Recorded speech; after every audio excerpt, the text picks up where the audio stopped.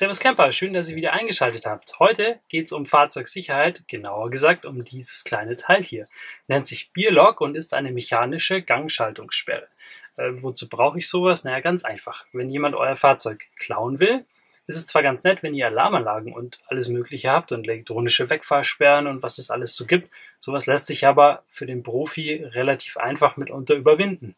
Ähm, was mechanisches ist da schon ein bisschen schwieriger, weil da kann man nicht den Computer anstecken und das Ding irgendwie trotzdem starten oder so, weil mechanisch diese Sperre eben verriegelt, dass ihr, wie jetzt in dem Fall von dem Auto ist Automatik, dass ihr den Automatikhebel auf D stellen könnt und somit losfahren könnt. Und das ist natürlich eine total praktische Sache schauen wir uns mal ein bisschen genauer an. Hier liegt der Bierlock erst einmal noch uneingebaut auf dem Tisch im Wohnmobil. Ich zeige euch einmal kurz den Mechanismus. Mit einem Schloss bzw. Zylinder verriegelt fährt ein kleiner Bolzen aus, der später verhindern soll, dass man den Gang einlegen kann. Den Einbau zeigen wir euch hier nicht. Ähm, dies muss bitte bei einem Bierlog-Einbaupartner durchgeführt werden. Schaut da einfach mal auf der Homepage des Herstellers vorbei. Ähm, den Link packe ich euch unten in die Videobeschreibung. Was hier trotzdem zu erwähnen ist, das System wird mit Abreißschrauben montiert. Das heißt, der Kopf der Schraube reißt nach einem bestimmten Punkt ab und man kann somit nicht einfach mit einem Schraubenschlüssel das Ganze wieder aufdrehen und ausbauen. Dass ein Dieb das System ausbaut, erachte ich sowieso als eher unwahrscheinlich.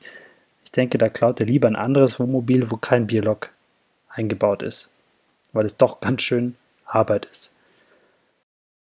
Hier sieht man dann auch nochmal, was da im Innenraum dann letztlich wirklich passiert. Also man kann ja im Normalfall ganz normal schalten, wenn das System quasi nicht aktiviert ist, also der Bolzen nicht ausgefahren ist. Wird das System aber dann verriegelt und der Bolzen fährt aus, dann verhindert der, dass man quasi mechanisch den Gang einlegen kann, weil der sich einfach dagegen sperrt. Das Ganze ist übrigens auch TÜV, ähm, TÜV geprüft, nur mal so noch nebenbei erwähnt. Im eingebauten Zustand sieht man dann letztlich lediglich nur noch den Zylinder und alles andere ist ja dann wieder verdeckt. Und da funktioniert das Ganze natürlich auch wieder so.